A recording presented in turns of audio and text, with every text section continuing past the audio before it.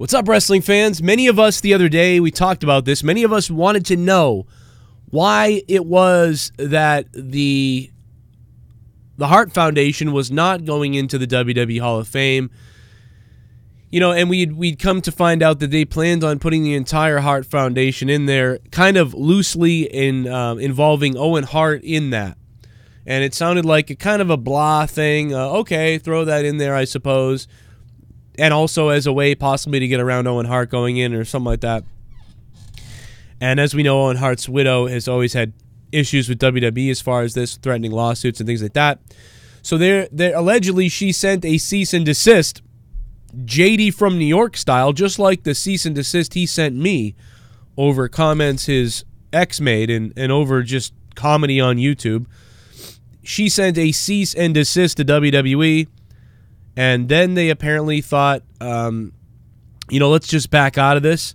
And that is why apparently they're saying that D-Generation X replaced the Hart Foundation in the WWE Hall of Fame because Owen Hart's widow sent a cease and desist to the WWE, uh, making sure that he is not involved in that Hart Foundation induction whatsoever. Knowing that Jim the Anvil Neidhart has passed away, and the only remaining member is Bret Hart, and Bret Hart's already been inducted in the Hall of Fame. At this time, it seemed they didn't want to go there.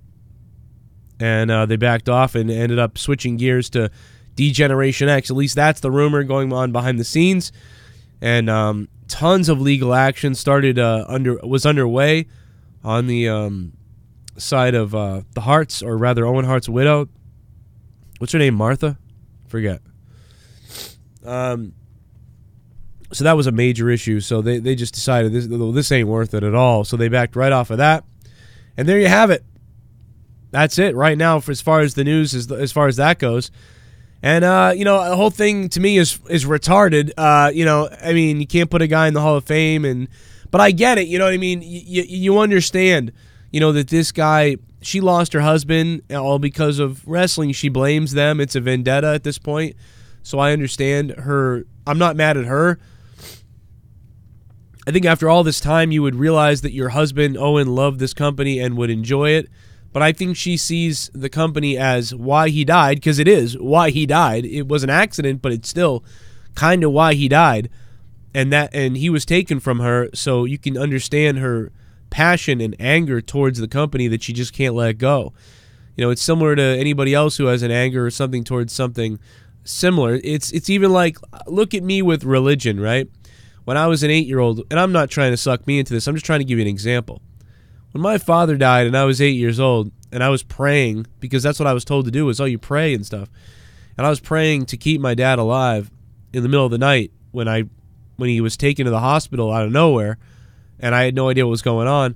And I prayed all night long and I was worried and stayed up and all this stuff about religion and God loves you and all this fake stuff that my mother and the church indoctrinated me into. And then, and you know, they didn't, maybe they didn't teach me the right way or whatever, fine. But either way, it was in my head that, oh, this is a great thing. And then he's dead.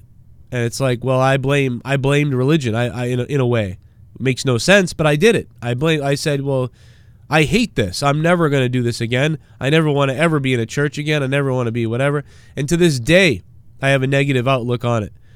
And you could see why I can relate to her that she would have a negative outcome and feeling against the WWE. And as fans, we're selfish. We saw Owen lo- doing what he loved, and all we know is that he would have loved to be in the Hall of Fame and that this is what he would like to do. But what we don't know is the suffering that she's been through, and she's holding this sort of vendetta. And I get it, but it has been a while. You would think at some point that somebody could let go of this much like for years I wouldn't go to churches, I wouldn't go to funeral things, I wouldn't go to these all these things. But years ago, I, I, I went back to a church. I went back to church when somebody had something going on in a church. I stopped saying, "Oh, I'll never go to that church again." You know, at one point I said to myself, "Well, it's not really why he died, or not why he died." So okay, and I went and I stopped holding this vendetta to going to church and somebody had something go on at a church and I didn't say no, I went because I got over it and I realized the bigger picture. Will she ever get over it and realize the bigger picture is the question. And it seems like that answer is no. She hates this. She hates you. She hates the WWE. And to her, it took her husband away. D-Generation X going to the Hall of Fame. Chyna finally gets in the Hall of Fame, which I think is cheap. They should have let this lady in when she was begging them to forgive her and bring her back in some form, and they weren't ready. And in the end, it's not their fault that she died, but you know they did the same thing with Vader. And it's not like she didn't want to be there; she really, really wanted to be there. And uh, to be honest, I love DX. I love the first uh, incarnation of DX, and I even love the second one, of course, with the with the uh, New Age Outlaws joining and everything. But uh, you know, I love DX, so that'll, that'll be really cool. I think the Hart Foundation should still go in at some point, some way, whether it's just Bret and Neidhart. I get they were the original, you know, Jimmy Hart even. Uh, but if you want to bring in the, the Attitude Era Hart Foundation as well, with the British Bulldog and Bret, I think they all should go in too. So, you know, unfortunately, but without Owen, you know, why would you do it without Owen? That'd be horrible. It's not right. And I don't know what else to say about this. I'll see you guys tonight live after WWE Raw, but that's the news right now. Thanks to V Man James and Jay Greg Hill going from two to five, and Vito V2 of Doom, the newest patrons on patreon.com slash Joe Cronin Show. You guys are keeping me doing these videos by donating live on the show and by being patrons. So if you guys want to join the Raw review tonight and you guys want to donate live, that helps the show keep going. So I'll see you for that. Otherwise, uh, jump on Patreon, get 30 hours of bonus content and uh, all that stuff for five bucks a month, and uh, you can even do a dollar a month. Some people are doing 50 bucks a month. And uh, that's it, man. I'll see you guys tonight after Raw. Here's some other videos popping up a shit you might have missed, like the Corey Graves story update. That's available now too.